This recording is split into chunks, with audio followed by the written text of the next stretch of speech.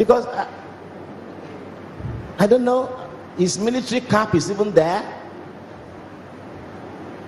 He'll be buried with it. but he can't wear it again now. The last fortune of any man, no matter how great he, he may be, is the coffin. I hope somebody listen to me. The last property a man will have is the coffin.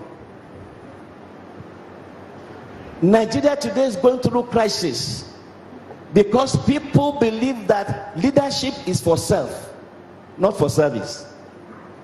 What a shame. And what, what distinguished David out as a man of God. And I said I was going to use another man. the Great. Emperor Alexander the Great was equally a military man like David.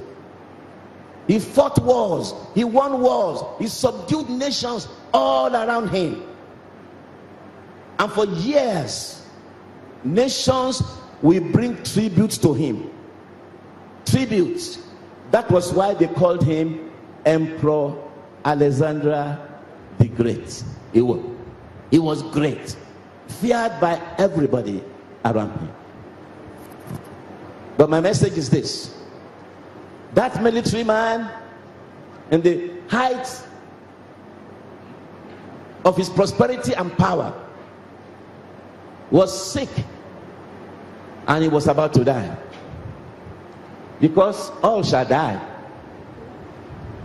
If jesus delays his coming everybody here will die. There is no prevention against that. Death is a necessary end that will come when it will come.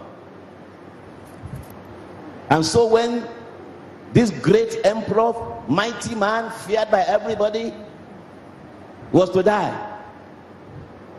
He called his military leaders and told them, I am about to die. But may I request three things of you? And I'm saying that, I'm using this as illustration for all of us, please.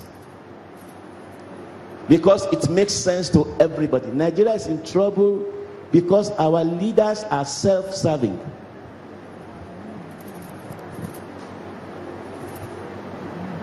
This man said, I make request of three things from you.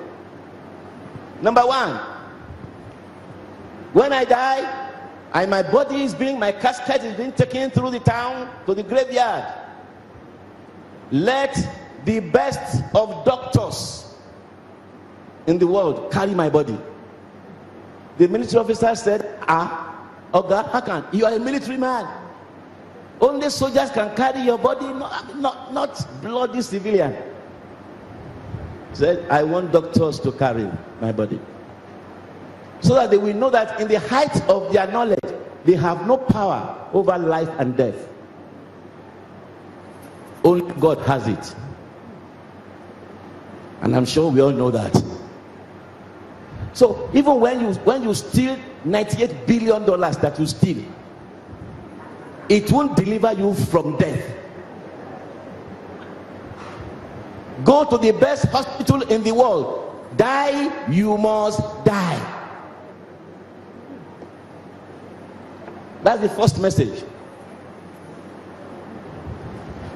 Secondly, he told them, as you carry my body the line, all the wealth I have made.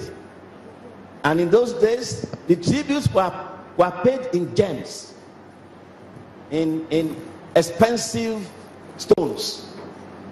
So all the gems I have made, as my body is going, throw them, throw them all over the place. Ah, ah. oh, that, this is money. Is that which money?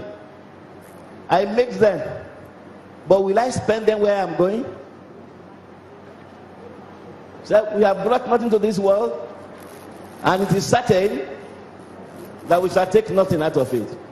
Throw them all over the place. Good riddance to bad rubbish. So when you make this your aim to steal public funds, you are wasting your time. The public funds you are you are stealing will not deliver you. In any case, it will send you to hell. Number two lesson. Number three lesson. He said it is a tradition that when you put the body in the casket, you knock it off. You close it. Said, Don't close my own. Please don't close my casket. He said, Allow my two hands, one on the right, right side, one on the left, to dangle as they take my body, to dangle. So everybody will know that I have nothing in my hand. Nothing. Nothing. Nothing. If every man, every woman would think like Alexander the Great, Nigeria will be better. People are jobless. People are suffering. People are dying. Leadership in many places uncaring, unbothered. It is given unto every man how many times to die? Once. And after that, judgment. We want to thank God for the life of General Adebayo.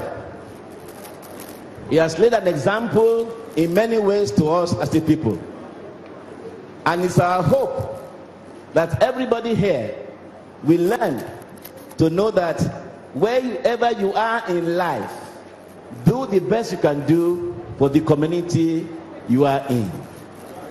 For David, after serving his father in his own generation, died and was buried with his fathers. Shall we all stand to pray?